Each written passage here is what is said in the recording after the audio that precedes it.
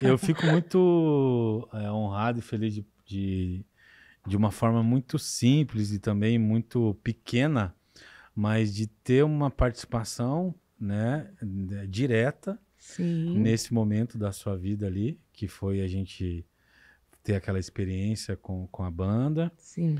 E acho que talvez se fosse em outro momento da sua vida e tal, até poderia ter dado certo. Sim. Mas por alguma razão também não era para dar. Aquele projeto não era para dar certo com você e tal, e Verdade. acabou não acontecendo. Mas aí a gente continuou, continuou a, a conversar, a pensar juntos e evoluímos até que eh, a gente chegou na, na fase de definir o, o nome, O né? nome, é. É, e foi um nome até que eu sugeri. Foi. Né? Então, é, a gente começou, né? Foi. Ah, tinha que arrumar um nome pra você. é porque o Amorim acho que é do teu, da tua família, É, do meu pai. você não usava. verdade. É, que eu não tenho nome e certidão de nascimento. É que, na verdade, assim, é, só pra explicar, tá? Porque senão o povo não vai entender. Sim. Vão achar que a minha mãe, coitada. é que eu sou filha adotiva, né? Graças a Deus eu tenho uma... fui adotada aí por uma família maravilhosa. E mais, eu conheci o meu pai, né? Biológico. biológico com, com 19 anos eu tinha. E, e eu tenho muito carinho, muito respeito por ele, e até amor, né, no meu pai. E, o sonho do meu pai era dar o sobrenome dele para mim. Isso é um desejo dele que ele fala que ele vai morrer em paz enquanto ele não fizer isso. Você me contou, né? É, eu época. falei.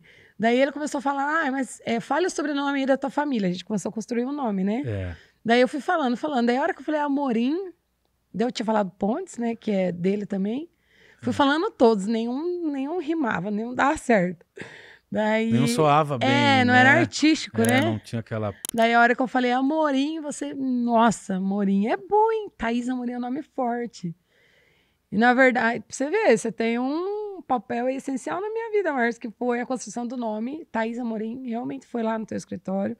E onde você falou, nossa, é um nome artístico, nome forte. É, é, também as opções que a gente tinha também né, eram, eram assim, não eram ruins, Não. mas eram ah, menos fortes, digamos Sim, assim. e no era- fim teve um significado, né? Porque meu pai queria tanto meu sobrenome que eu mesmo fui lá e fiz o favor de dar o sobrenome dele pra mim. É, E eu acredito assim que nome no- é porra, difícil você escolher o nome assim do nada, É, difícil? né, Renato?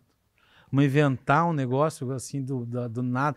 Então eu, eu sempre busco verdade em tudo que eu faço.